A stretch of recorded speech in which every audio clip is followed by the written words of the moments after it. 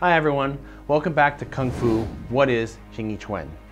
Now this is part two of the series, so if you have not yet seen the first one, please be sure to go check that out as we talked about the history and development of the art that leads up to this point. Today we're going to get an introduction of the curriculum itself and see how a lot of the methods developed are applied in practice as we continue to explore the history of the fist of the shape and the intention. So stick around for the good stuff.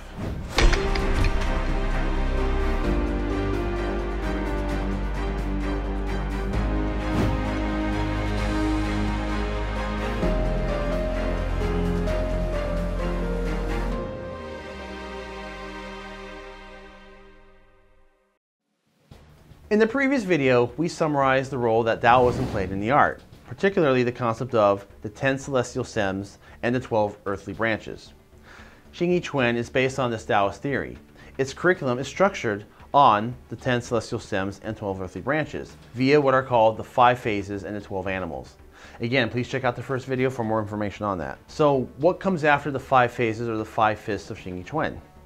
Now you might remember that the five fists stand to represent the 10 celestial stems. Now this leaves us with the 12 earthly branches. Now the representation of the 12 earthly branches comes to us in the form of 12 animals. These 12 animals are dragon, tiger, monkey, horse, alligator, rooster, swallow, sparrowhawk, snake, eagle, bear, and tai, which is a mythical bird. Now, are the 12 animals of Xing Yi Chuan something like the animal systems of Kung Fu that you need to learn? Mm, not exactly. The different animals are either combinations of movements, or Taolu, and typically each animal has several of these combinations or forms. For each of these animal combinations or forms, there are of course numerous ways to apply them in combat. Interestingly, every lineage of the art also tends to feature small or even possibly major modifications for the animal movements, and it is common to find variations among schools and teachers. The animals of Xing Yi also use the mechanics of the five fists in novel and interesting ways. Now just to reiterate, the five fists or five movements are Pi Chuan, Zhuan Chuan, Bong Chuan, Pao Chuan, and Hung Chuan. The five fists lay the foundation for the techniques and body methods whose more advanced versions are studied through the animals.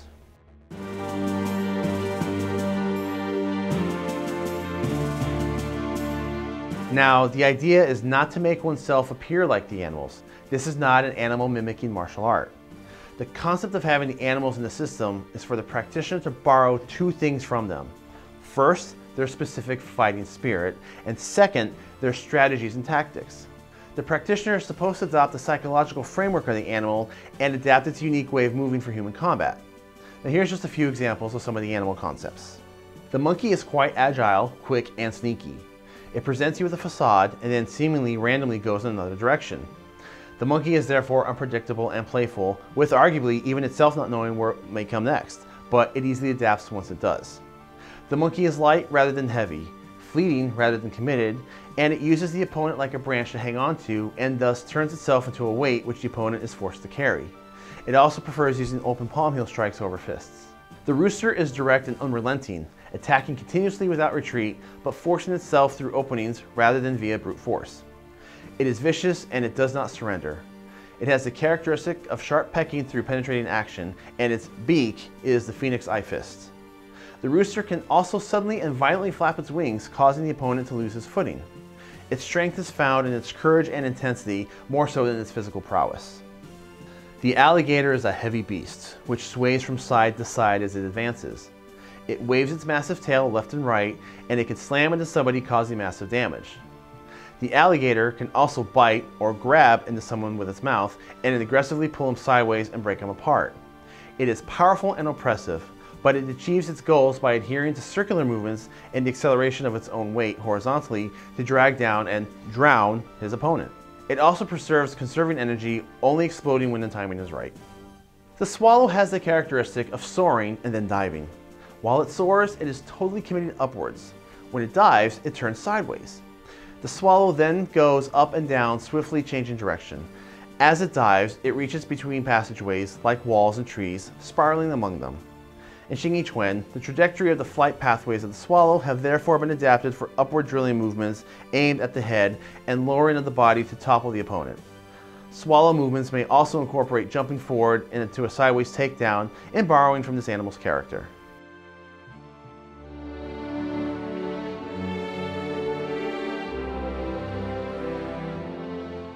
Now apart from the five fists in the animals, there are also various talu for solo and partner practice. Now talu is sort of the equivalent of kata and karate, but with some distinctions. And we talked about this more in depth in What is Kung Fu, which you can find above or in the link below in the description. Now these Talu tend to tackle a very specific topic. Some will focus on connecting all the five fists and adding some combinations to them. Others link up together all the animal movements. There are even forms which combine the entire curriculum into a single, well-organized choreography. Though the taolu may differ between lineages, typically there are at least four to five of them in each school. Some forms are even specifically designed to bridge the gap between cooperative partner practice and full-blown sparring. Though the main emphasis on Xing Yi Chuan is the practice of single movements and single combination, forms are still important, especially for beginners and intermediate practitioners. Accompanying the forms are various partner drills, which are semi-cooperative or freestyle, culminating into full sparring, traditionally without protective equipment. Now the method for developing whole body sensitivity through partner grappling is called rolling hands, as opposed to the pushing hands of Tai Chi Chuan or other arts. It is an effective measure of learning how to transition between both grappling and striking movements, and rather than being technique oriented, rolling hands thus teach the movement mechanism which are taught between techniques. The art and its unique outlook are further explored with the practice of weaponry. Chief among them is the big spear. So for training purposes, such giant spears can be 3 to 5 meters long, and they're usually made from a flexible white waxwood. The spear is important for learning how to generate the art's famous and formidable vibrating power, connect the entire body as a single unit, and guide movements with one's dantian, or energy center. Other weapons vary between lineages, and they might include staves, swords, or specialized daggers. The spear is the most important weapon because the mechanics used to wield it are used in all the five phases and 12 animals. Many are of the opinion that the primary inspiration of creating Xing Yi Chuan was the use of the spear.